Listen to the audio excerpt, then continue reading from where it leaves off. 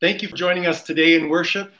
We're glad that you're here. My name's Pastor Al. The church is Mount Olive Lutheran Church, and it's actually more of a family, a family under God, under Christ. What are we as a church? We are about three things seeking Jesus. So we're going to open up the Bible, which is the Word of God, and Jesus is called the Word of God. We're going to seek Jesus there.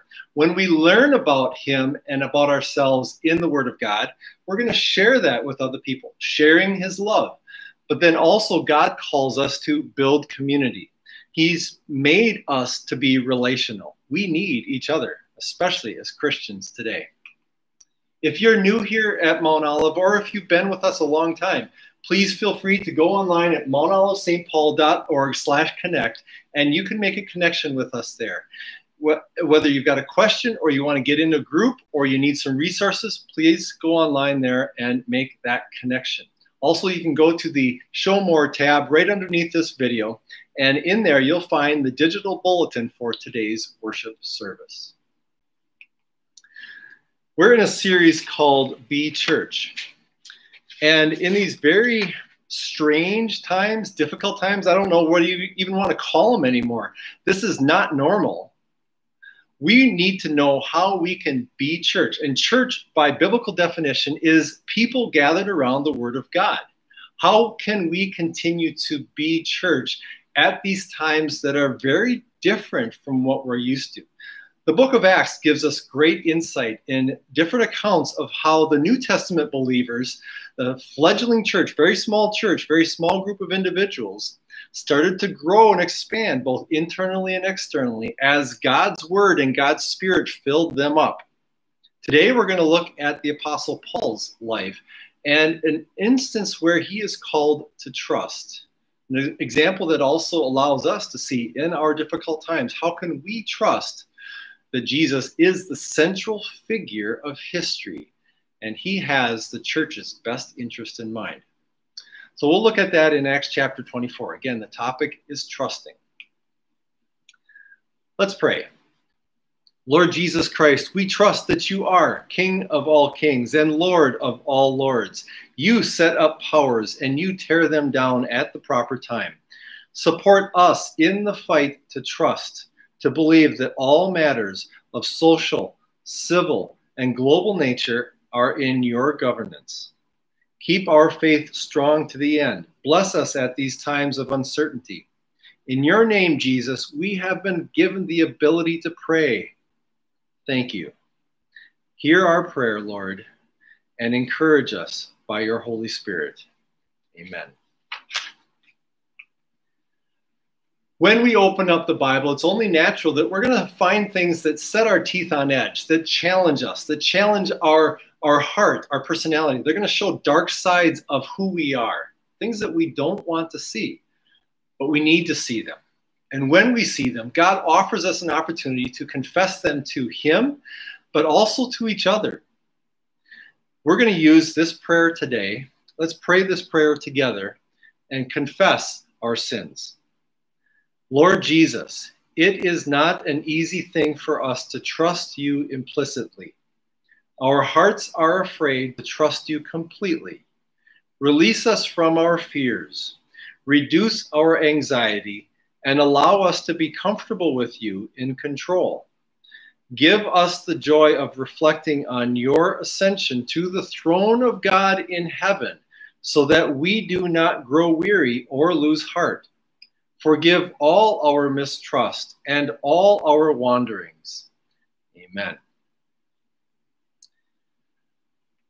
Jesus lived a perfect life so that he could give you his perfect record. You need it. Jesus died an innocent death and shed his blood as payment for every sin, every dark thought. We need that as well.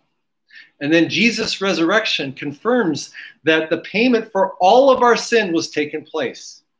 Because of that, I can say to every one of you, you are forgiven in the name of the Father and of the Son and of the Holy Spirit. Amen. The book of First John, chapter 1 says this The blood of Jesus, God's own Son, purifies us from all sin. All sin. Trust and believe. Because our culture does not want us to believe in God anymore, because the circumstances of our life challenges challenge us to think is God really listening? Is God really in control? And because Satan himself does not want us to believe that God has our best interest in mind, we are going to look at this next song that tells us to be still. Be still, my soul. The Lord is on your side. So let's sing this together with our worship team.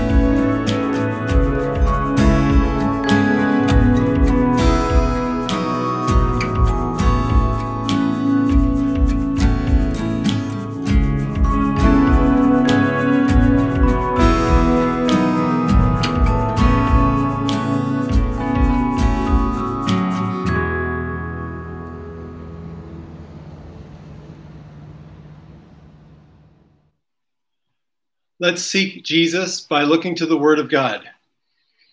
Our first reading is from the Old Testament book of Habakkuk, chapter 1. And Habakkuk is asking a great question God, what are you doing? Uh, he does not understand how all of what he sees fits into God's plan.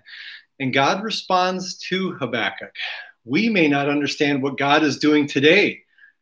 God also would respond to us I have my plan you are in my plan. Habakkuk chapter 1. The prophecy that Habakkuk the prophet received. How long, Lord, must I call for help, but you do not listen, or cry out to you, violence, but you do not save? Why do you make me look at injustice? Why do you tolerate wrongdoing? Destruction and violence are before me. There is strife and conflict abounds. Therefore, the law is paralyzed and justice never prevails. The wicked hem in the righteous so that justice is perverted. Sounds like modern day. Listen to God's response. Look at the nations and watch and be utterly amazed. For I am going to do something in your days that you would not believe, even if you were told. I am raising up the Babylonians, that ruthless and impetuous people who sweep across the whole earth to seize dwellings not their own. They are a feared and dreaded people. They are a law to themselves and promote their own honor. God is saying, I've got control. I control all authority, kings and princes and armies. I'm in control. Same in Habakkuk day as Habakkuk's day as it is in our day. Remember that, especially in this political year. Our epistle reading an epistle is a letter. This particular letter was written by Paul to the Roman believers. And it's the quintessential verse for knowing that Jesus is the central figure of all history, for trusting that and trusting that he has a plan for you personally. Romans 8, 26 to 28. In the same way, the Spirit helps us in our weakness. We do not know what we ought to pray for, but the Spirit Himself intercedes for us through wordless, wordless groans. And He who searches our hearts knows the mind of the Spirit because the Spirit intercedes for God's people in accordance with the will of God. Thank God for that. The Spirit, if you're unable to pray eh, appropriately, if, you're, if you don't know what to pray for, the Spirit can intercede. So just pray, just pour out your heart to God. And the Spirit will cause your prayer to be parallel with the Word of God. And here's that verse that is so valuable to us. And we know that in all things, God works for the good of those who love him, who have been called according to his purpose. God works for the good. He is actively working in our life for the good. He is the central figure in our life. Our reading from Matthew chapter 11. Even some of the greats, like John the Baptist, had doubts that God was working. Here, John the Baptist is in prison and he's kind of scratching his head at first, but then he seems to be in a quandary. Uh, God, did you forget me? Why am I here in prison? In fact, the, apostle, uh, the, the book of Matthew records that John the Baptist never got out of prison. He literally lost his head. Is God still in control? Let's listen to these words from Matthew chapter 11. After Jesus had finished instructing his 12 disciples, he went on from there to teach and preach in the towns of Galilee. When John, who was in prison, when he heard about the deeds of the Messiah, he sent his disciples to ask him, Are you the one who is to come? Or should we expect someone else? Most commentators say he had doubts, and I believe it too. He's human we look at the situation around us, we have doubts. God, did you forget me? Did you forget what's going on? Jesus replied, Go back and report to John what you see and hear. The blind receive sight, the lame walk, those who have leprosy are cleansed, the deaf hear, the dead are raised, and the good news is proclaimed to the poor. Blessed is anyone who does not stumble on account of me.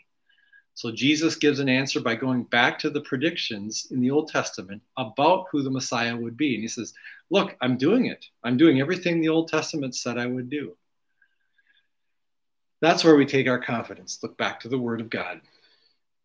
Then our reading for today for the sermon, Acts chapter 24. Then Felix, who was well acquainted with the way, the way is another term for Christianity. It's, it's what Christians were first called or called early on in the book of Acts. They were called the way. Instead of being called Christians, they were called the way because Jesus called himself the way, the truth, the life. So his followers were called the way. Then Felix, who was well acquainted with the way, with Christianity, adjourned the proceedings. When Lysias the commander comes, he said, I will decide your case. He ordered the centurion to keep Paul under guard, so he's in prison, but to give him some freedom and permit his friends to take care of his needs. Several days later, Felix came with his wife Drusilla, who was Jewish. He sent for Paul and listened to him as he spoke about faith in Christ Jesus. As Paul talked about righteousness, self control, and the judgment to come, Felix was afraid and said, That's enough for now. You may leave. When I find it convenient, I'll send for you. At the same time, he was hoping that Paul would offer him a bribe, so he sent for him frequently and talked with him. So there's something that intrigued him, but he was not intrigued so much by the faith that Paul shared. He was in, intrigued by the opportunity to make some money off of Paul. When two years had passed, Felix was succeeded by Porcius Festus. Be, but because Felix wanted to grant a favor to the Jews, he left Paul in prison. This is the word of our Lord. Let's pray, and I'll share what God has put on my heart for us today. Heavenly Father, we still want to be church, and, and even as we pass through this series, we want to be the kind of people you've called us to be. And, and a big part of that comes down to trust. To look around at the world that we're in and trust that you are the central figure of history. To look around the world where we're at and trust that you have your fingers in all of political and economic and, and every type of movement that's going on in our world. You're not out of control, you're in control. You haven't forgotten about us. We are in your sights every day. So, Lord Jesus, please help us to trust that. Help us to trust you as life moves forward, good, bad, or indifferent. Ultimately, help us to trust you. In Jesus' name we pray. Amen. So, as as we get going, I want us to consider a few things. One of one of my favorite apologists, favorite preachers is a man by the name of Ravi Zacharias. He's now in heaven. He died just a few weeks ago. And I've been listening to him a lot lately. One of the things he said in a recent, in, in, in one of his, it's not recent anymore, but in one of his podcasts was titled this Convictions That Conquered the World. Convictions That Conquered the World. And he was speaking about the New Testament church in the book of Acts. Here's what he said They saw the finger of God in all of history and Christ as its central figure. They saw the finger of God in all of history, even their own history, and Christ as its central figure. So I put that to you today. Do you see the finger of God in all of history, the history of the Twin Cities as we're in the midst of a pandemic, but also social injustice and, and upheaval and pol- politics, crazy politics, and all kinds of gender issues and sexual issues. Do you see the finger of God in all of history and Christ as its central figure? Today in Acts chapter 24, we're going to look at how Paul sees the finger of God in all of history and Christ as its central figure. But I also want to give you an illustration that, that may help you with understanding how God does work in all of history. About the time of Napoleon, back in the late 18, late 1700s, early 1800s, Alexander Pavlovich watched his father murdered, butchered. His father was afraid of people. He was hated by the men in by people in Russia, so much so that he knew he had to build himself a fortress with 15 foot walls. But even though it was such a powerful, dominating fortress, 60 men found their way into that fortress and murdered Alexander's father. So at the age of 24, Alexander Pavlovich became the Tsar of Russia. Well, he wanted to be a good man. He didn't want to be like his father. So he started out on a, on a decent note and then eventually was married. And after his marriage, he quickly decided adultery was the course of his life, licentious living. And yet there was a problem. The Archbishop of Russia so, when an opportunity came to put a new archbishop in place, he picked a man who was equally as licentious as himself. And he thought, this is great. I'm going to have someone in the church who has the same attitude as me, and I can get along with my adulterous, non God pleasing living. I can buck what God says and do my own thing. He thought he had it set. But God has his finger in all of history, and Christ is its central figure. God had another plan. So the archbishop was put in place. This man who had a, a lifestyle and an attitude just like Alexander. But God converted him, brought him into the faith. Now, instead of an advocate, Alexander's got an enemy in the church. So he tries to he tries to dominate the church and he wants to obliterate the church. Problem is, Napoleon is marching against the Russians at this time. So, so Alexander Pavlovich uh, gains his gathers his army together 130,000 troops armed to the teeth and he brings them into Poland to fight Napoleon but he's slaughtered and he has to run for his life he runs back to Moscow, and eventually, down the road, Napoleon comes and marches into Russia and marches toward Moscow. He's looking for the Tsar. He's looking for Tsar Alexander. He gets to Moscow, and in search of Tsar Alexander, he burns building after building after building, and much of Moscow is on fire, but they can't find the Tsar. Where's the Tsar? The Tsar ended up in St. Petersburg, he ended up in St. Petersburg, and in St. Petersburg, with Napoleon's army chasing him down, with the church against his licentious behavior, he finally realized I need to give in to the God of history and its central figure, Christ. So he got down on his knees and begged for forgiveness. God had humbled him. He begged for forgiveness asked for God's mercy. Please help me. Somehow help me out of this. I know 130,000 troops can't fight Napoleon. Lord, please help. I know I can't fight your church. Lord, please help. And he begged for God's mercy. He begged for his forgiveness. He begged for his help. You know what God did? He sent in winter early that year. And Napoleon and his army was rebuffed. In fact, Napoleon and his army had to run literally for their life back to Paris. God's finger is in all of history, and Christ is its central figure. Paul believed that. Do you and I believe that? Let's look at the words from Acts chapter 24 and let's see where the Apostle Paul is at with this topic. Then Felix, who was well acquainted with the way, adjourned the proceedings. Just to catch you up to speed, Paul has Paul's head is marked. People want him dead. The Jews want him dead, and they put a price on his head.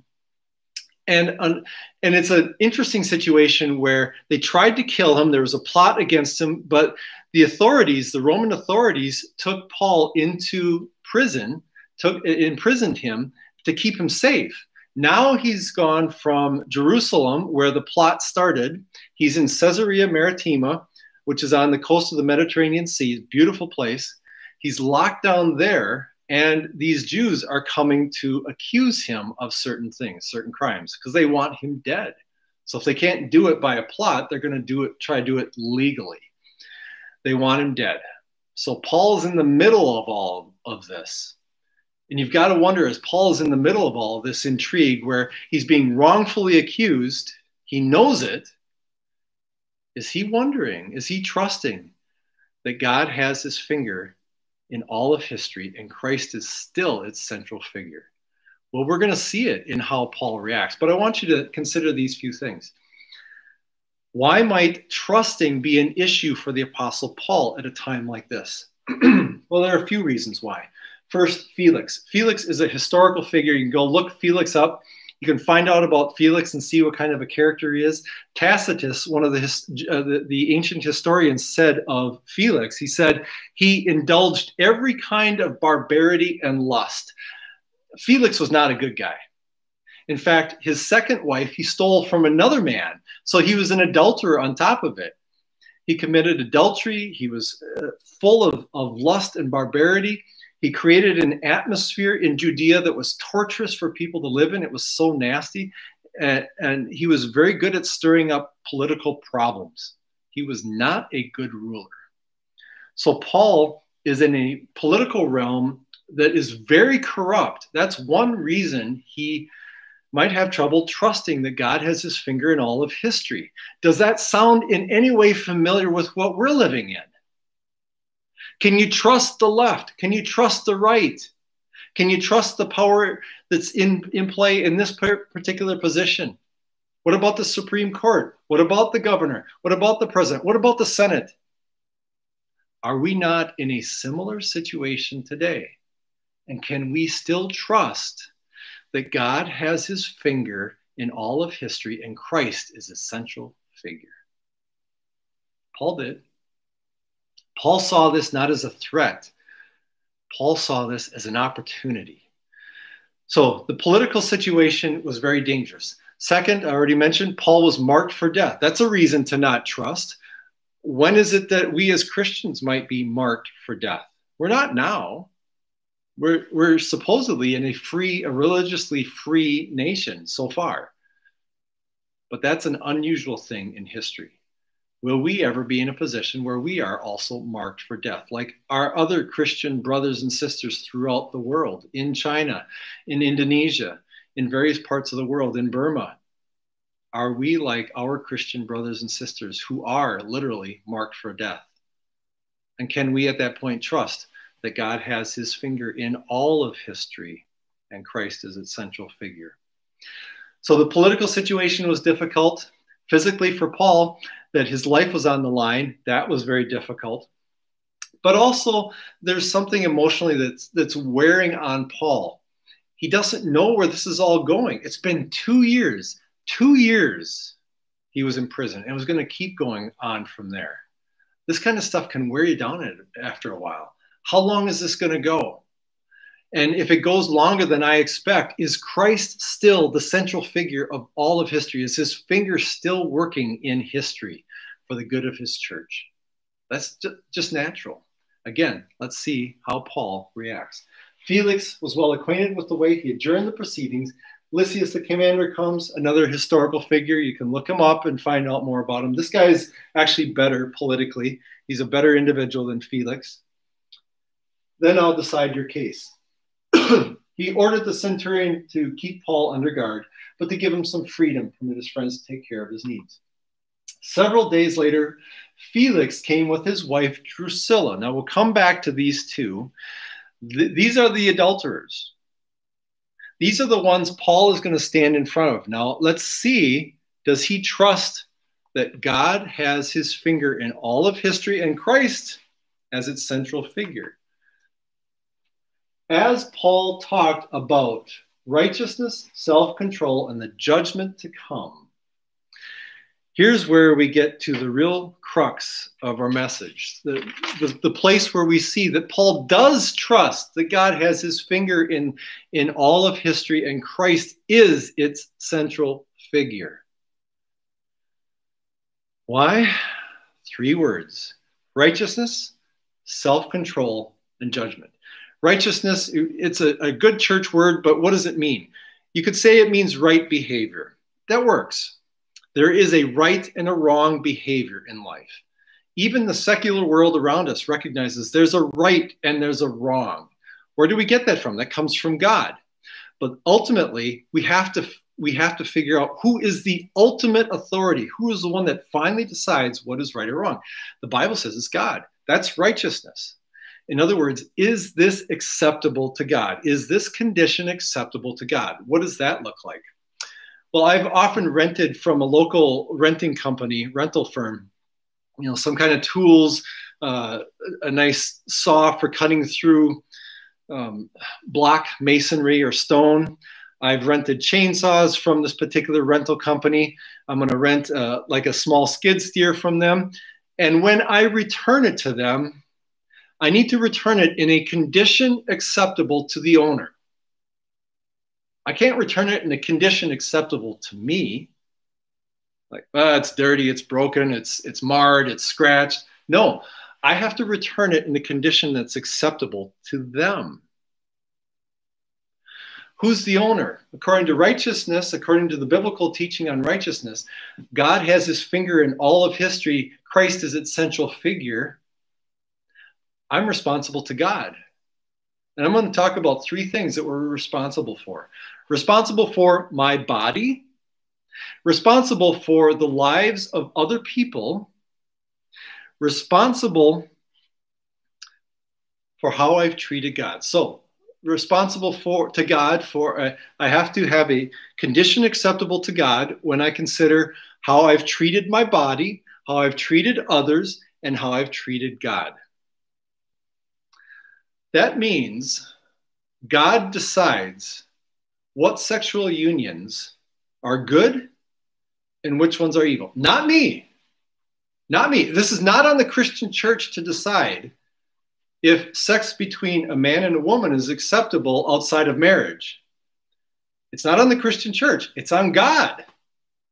Go back, I, I need to go back to scriptures and see is a sexual union or unions, multiple, is that acceptable to God? Look in scriptures, search out scriptures. What else about myself? I need to I need to see what did, what has God decided about my body, my gender, not me. Am I living as God called me to live? I'm responsible to Him. And I know that's not a popular message. But here's why. Here's why I have to bring it up. It's the truth of God. And Paul recognizes this too, because Paul is standing in front of a man who is living an adulterous, licentious life. Felix and his, his wife, his second wife, Drusilla, who he stole from another man. He lured her away, coveted her, wanted her. She was a beautiful woman, and he stole her away. That's wrong. Paul is standing up and saying, there is someone that we are accountable to. He also addresses the topic of self control. Am I able to live according to God's conditions? And then judgment.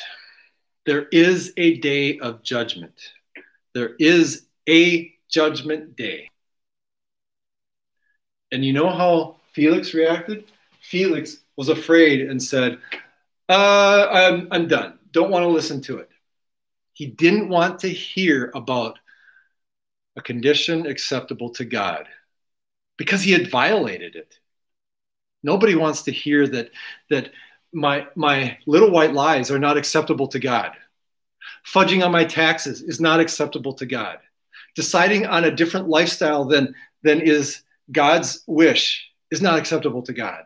Nobody wants to hear that they are wrong. Nobody wants to hear that their thoughts about another woman when they're married to this woman are not acceptable to God. Nobody wants to hear that their lack of speaking up is not acceptable to God. All of these things can be found in scriptures. Do we want to hear the truth about righteousness, self control, and judgment?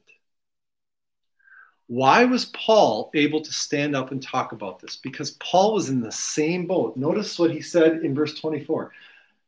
He sent for Paul and, and listened to him as Paul spoke about faith in Christ Jesus. Paul did not speak about performance. Paul did not come up in, in front of Felix and say, Yeah, everything God demanded, I did. My self control, perfect. Even the little stuff, I did it all. No, Paul stood up and, and said, Faith in Christ Jesus. He said, I know someone who did this perfectly. I know someone who considered all the conditions acceptable to God and he did them. That His name is Christ Jesus. And I know my self control is not good enough, but I know Jesus' self control is. Jesus did everything that God asked him to do. And then the judgment. I know that I cannot stand under the judgment of God because as soon as I put one foot into the judgment stand, I'm guilty. I am guilty. Paul knew that too. But he had learned about faith in Christ Jesus, who underwent the judgment for every one of us for every one of us who struggles with gender, for every one of us who struggles with sex, for every one of us who struggles with right and wrong, who struggles with truth, speaking the truth, telling the truth, thinking the truth, every one of us who struggles with authorities, giving honor and glory to authorities. Because every one of us has a struggle. And the only way out for any of us is faith in Christ Jesus. Do you, like Paul, see the finger of God in all of history, even our history now in the cities? And do you see Christ as the central figure? In fact, let me just add this the saving figure who wants to be your Savior. I know I need him. Let's pray. Lord Jesus, Paul locked up in prison under a filthy political system with a price on his head could have been in despair. But he knew that to live is Christ and to die is gain. He knew Christ as the central figure. And, and when that day came and his life was taken, you, Lord Jesus, brought him to be with you forever. to die is gain.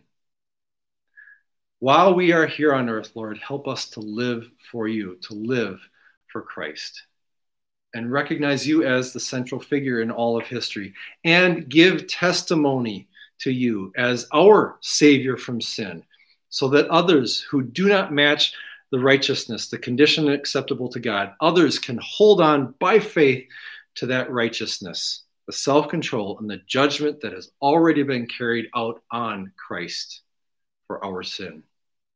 It's in Jesus' name we pray. Amen. Please join with me in the Lord's Prayer. Our Father in heaven, hallowed be your name. Your kingdom come. Your will be done on earth as in heaven. Give us today our daily bread. Forgive us our sins as we forgive those who sin against us. Lead us not into temptation, but deliver us from evil. For the kingdom, the power, and the glory are yours, now and forever. Amen. Receive the blessing of your Heavenly Father. The Lord bless you and keep you. The Lord make his face to shine on you and be gracious unto you. The Lord look on you with his favor and give you his peace. Amen.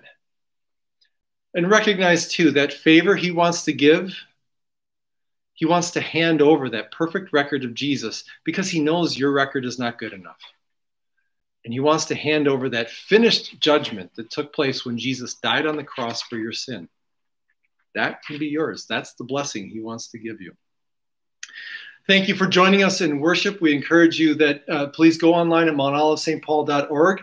If any part of this message has inspired you, encouraged you, feel free to click the icon and give back to this ministry. Also, keep looking for further insights. There is an email that you can receive. There's more information in the Show More tab underneath. And there's a link to uh, Mount Olive there if you'd like. Thank you for being here, everybody. God bless.